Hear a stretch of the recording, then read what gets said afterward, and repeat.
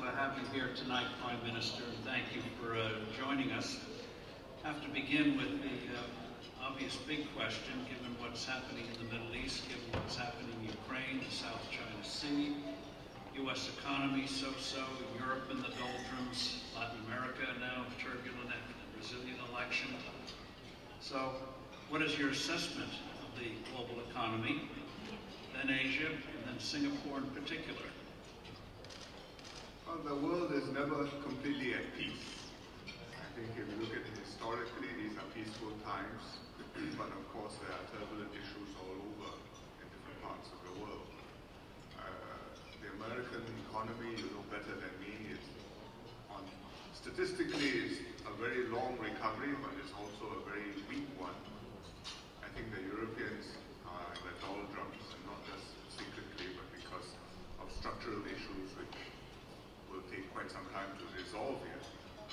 Uh, in Asia, there's strong new governments in India, in China, I think they want to make fundamental reforms.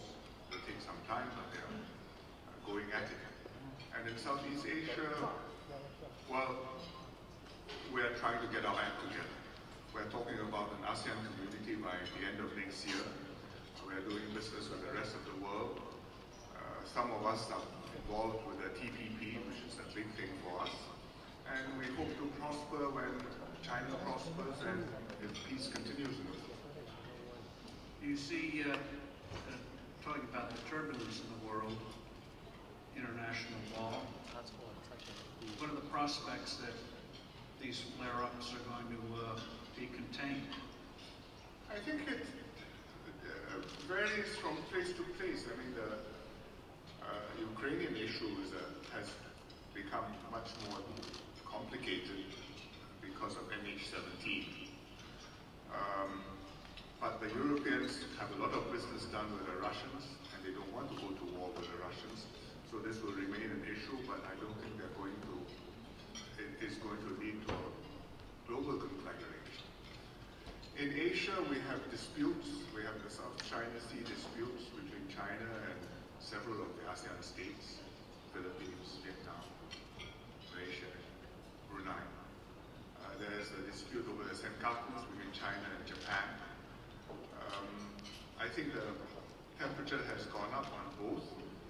Uh, they're not easy to resolve, but I, again, I don't think that either side wants to push it to the brink. It's a game of brinksmanship, and we have to hope that there are no mishaps and that same council surveys. But I don't see those issues being solved quickly because sovereignty is involved, because national pride is involved, because uh, there's a social media in the countries which work up sentiments, and nobody can pull back and say, I made a mistake, or I made a deal and I've decided to cut the island. It's not going to happen. So all we can do is to live with the disagreements and manage them, and hope that our grandchildren will be wiser than us and can make progress on it. Grandchildren, my goodness. um, it's a long ways. Uh, in, in, in, the meantime, uh, what should the role of the United States be in trying to make sure these, these disputes don't escalate? I think... Or rise in the first place? Well, the U.S. is not omnipotent. Are, you are the superpower, in a way the only superpower, but you cannot order things in the world as you wish, whether it's in the Middle East, whether it's in Ukraine, whether it's in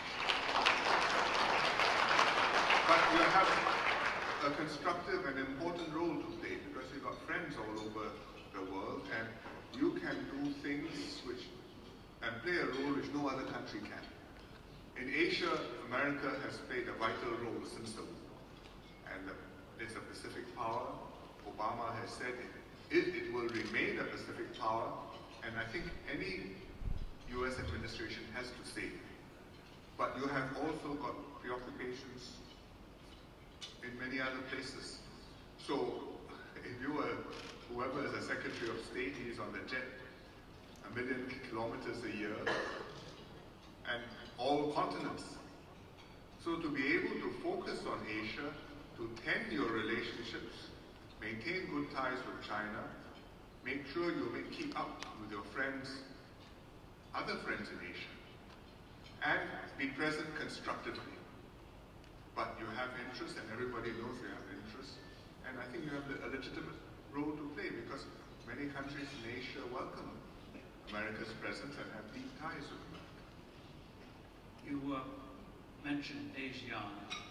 Uh, how do you see that uh, moving in the future now in terms of uh, cooperation, integration, and uh, removing barriers between? I mentioned the ASEAN community. We have a target of end 2015 for achieving this ASEAN community, and particularly the economic community, which means uh, free trade in goods, which means freer trade in services, which means uh, better rules for investments, which means more rationalization of uh, regulations and, and uh, civil aviation so that we can connect with one another better. I think that we have an ambitious roadmap. We probably will make, we've made about 80% of it already. The last 20% of course are the hardest parts uh, and most politically sensitive. So I'm sure that there will be work left over to be done even after we have an economic community. But we will make progress and we're heading in the right direction. Uh, countries have different preoccupations. I mean, you always do. There's a new government in Indonesia. I think the new president will be focused on domestic issues for a while. Um, Thailand is, uh, has, a military, has a military government which is working towards establishing new rules and eventually holding new elections, so they're domestically preoccupied. Myanmar is uh, still in a process of democratic transition, working towards an election next year, which I think will uh, be a significant test of whether democracy can work in that country. So we've all got different preoccupations, but I think that we are gradually making progress together. Um, it's not like the European Union, which aims for a single market and a single community in all respects. But even the Europeans don't find it simple to be single in all respects. So I think that we have a realistic, even though slightly less ambitious target. Will the time ever come where you'll have a single currency, or will you, Pro- Europe will say no? probably after my retirement. the Europeans themselves very seriously whether they should have gone into a single currency and if you took a purely economic view of it, the answer probably was no, but they had other reasons for doing it. And uh, in Asia, the preconditions don't arise, uh, uh, do not exist. I mean, the, you don't have that same congruence of the system, you don't have that integration of the economies, you don't have a similar basis for even economic policy. If you're, and, and for integrating the economies, if you're going to have a single currency in Asia, the simple question is, is it going to be based on the renminbi or is it based on the yen? That answers that question. Uh, Getting, uh, getting here to uh, Singapore, everyone knows the amazing progress Singapore has made over the years, even with periodic crises. You're a country with uh, five and a half million people. Um, How do you uh, maintain, first of all, your preeminence, certainly uh, centrality as a financial center, and uh, how do you make sure you maintain and enhance your global influence with five and a half million people? Well, I think that we just try to do okay for ourselves. Uh, it's a continuing challenge. Um, at every level, you have not arrived and you have to find new ways to move ahead. And we're at a level now where we have five and a half million people in Singapore. And we say we have to grow, but you have to grow by upgrading the workers, upgrading our own people so that they can do better jobs, earn higher pay, and improve their lives. The population has to expand some, uh, gradually in a sustainable way. Talent has to be able to come into Singapore so that we will create more wealth and we can generate more business and more good jobs for the people. But fundamentally, we have to upgrade and transform our economy and our people, the young ones in schools, and also those not so young who are already working, but who need refresh their skills and who need to pick up new capabilities because the world is changing. And that is a big challenge.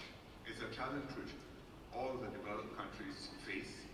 Uh, we are at developed country levels of income and GDP, but in fact we're not quite at developed country levels in terms of the comprehensiveness of our economy, in terms of having the multinationals, the reach. So people look at us and they say, yes, you are doing well, but we are still a small country even though we're doing well. And we never forget that. Uh, one of the challenges you faced was uh, growing population infrastructure not growing as quickly to meet that uh, surge of immigration. Uh, you seem to have a situation today where wages are growing faster than productivity. How do you uh, ride this tiger? How do you try to fine tune this? There are several, several aspects of that. First of all, uh, we fell behind on infrastructure because the economy was doing well and uh, we, we just needed the, the workers at all levels, whether construction workers, whether uh, factory workers, whether they're uh, uh, service workers in hotels, whether they're professionals or bankers. And they came in and, well, they put a load on us. I think if we had not brought them in and shut them off, we would have faced other serious problems but the infrastructure shortfall was a problem, and we've been building houses. I think we've caught up now. We've been uh, improving our, expanding our metro or train system. Uh, not quite caught up, but it's in progress, and we are seeing improvements already. Uh, so I think the infrastructure problems can be resolved. The challenge really is how do we upgrade ourselves and grow not so much with so many people coming in, but with higher quality growth. And as you say, in recent years, wages have gone up faster than uh, productivity. Uh, I think in the short term you can wear that, and in the short term it, I think it's okay because um, the demand is there, the people, uh, the, the pressure to come into Singapore to invest, to set up companies is there, and therefore Singaporeans are in demand. And that's, if that's the value of the Singaporean, I think it's good that they get it. And they are really getting that bonus from being Singaporean.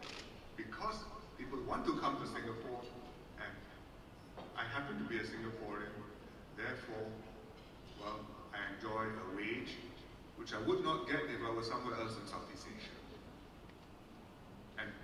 In fact, that's one of the ways we want to improve the wages of our people. But you cannot push it indefinitely. You are unproductive, the country is great, but people come and hire you and pay you a million dollars and you don't have to work. Well, some, some, sometimes that happens some places, but I don't think that that's possible in Singapore. So in the long term, that means that productivity has to go up. How does productivity go up? Education of our people, training of our people while they are working so that they, they, they learn skills which are relevant to their job. And also restructuring of the economy so that I keep on bringing in businesses which can, uh, uh, which, which are sunrise businesses and gradually phase out those which are not so successful and not so profitable. And then we can move. It's not magic, it's not easy, but it's the only way we can one question before we go to the audience, Prime Minister. Uh, the theme of this uh, conference is the next horizon. You uh, mark this year as the 10th year you've been Prime Minister. Uh, next year, Singapore celebrates its 50th birthday. Uh, what have you learned? How have you evolved as a leader? How are you different today than 10 years ago? Where do you see yourself five years, 10 years from now? Well, before you more gray hair today and even less hair in 10 years' time. But hopefully, hopefully with a bit more sense of the limits, but also the bit more confidence to push those limits. Because it's always a balance you are trying to do. What is possible, what you think is possible, you must know because otherwise you're just talking in in a vacuum, but what can you make possible beyond what we believe can be done? And then you do something a bit more. Whether it's the economy, whether it's education, whether it's the quality of the city we are building. I mean, we did not believe when we, 10 years ago, that uh, Marina Bay would look like what it does today. Anytime soon. We had an idea. And one year I actually showed uh, a visualization of what we hoped it would look like on our 50th birthday, which is next year. And there were some buildings up, but to make it look prettier and make sure it was convincing, I added some fireworks to animate the picture. And, well, we thought it looked good because it was a lot more than we had. But today, if you go around Marina Bay, even without fireworks, I think I'm proud of it. So, you can do more than you think is possible, and looking forward, beyond the 50th anniversary, I think that's what Singapore needs to do. To be aware, to be paranoid, so you always know that somebody can take your lunch away, but at the same time to have the confidence that I have a good base, I'm in a strong position, and I'm determined to do better. And I think that's what we need Singaporeans